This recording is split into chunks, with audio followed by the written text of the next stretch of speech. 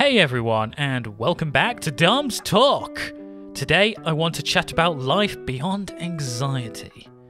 As someone who struggled with anxiety for over a decade, I know firsthand how crippling it can be. It impacted my ability to work, study, and just engage in life.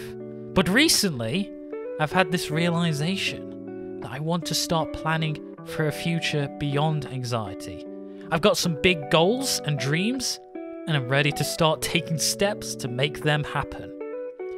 So, first up, I want to talk about my plans for further education. Back in school, I missed a lot of classes due to sleep issues, which impacted my grades. I ended up with a grade E in maths, but I know I'm capable of so much more. So I'm planning to retake my maths GCSE and aim for at least a grade C. A higher maths grade will open up so many more job and educational opportunities for me.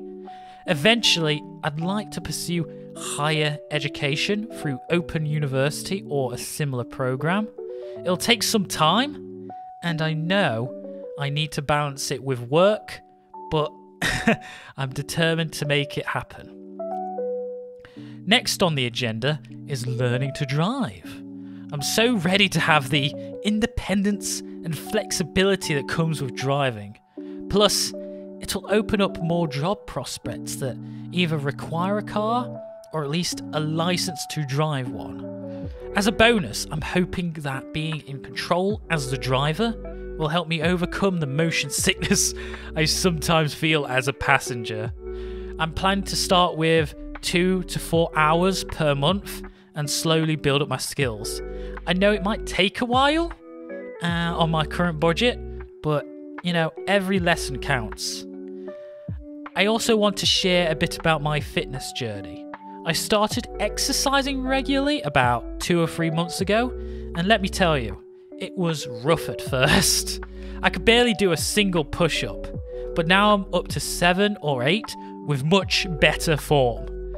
I've been adding in new exercises too, planks and weights, to really round out my routine, you know? A big focus for me is building core back strength to help with some previous pain issues, and the results are starting to show. I've lost about 1.6 stone so far, and I could feel myself getting stronger.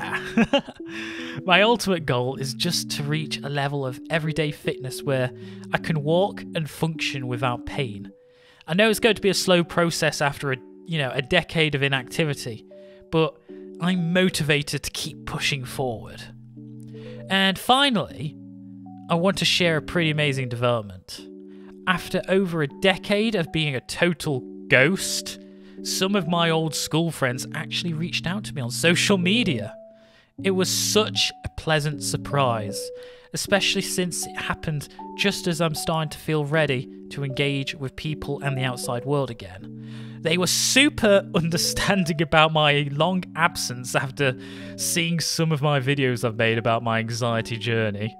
Um, we're planning to meet up soon and maybe even get involved in their Warhammer hobby down the line, which sounds awesome, by the way, don't get me wrong. And so, if you're struggling with anxiety too, I highly recommend setting up a social media account. It can help enable those connections even after years have passed. So, that's my little overview of my future plan tackling further education, learning to drive, continuing to work on my fitness, saving up, and reconnecting with old friends. I know none of these things will happen overnight, you know? It's going to take consistent effort, but I'm feeling extremely optimistic and determined to keep my taking those small steps forward. And so I'm excited to keep sharing this journey with all of you. If I can leave you with one message, it's this. Anxiety may have taken a decade from me, but I'm determined to make the rest of my life amazing, and I hope you'll join me. Take care.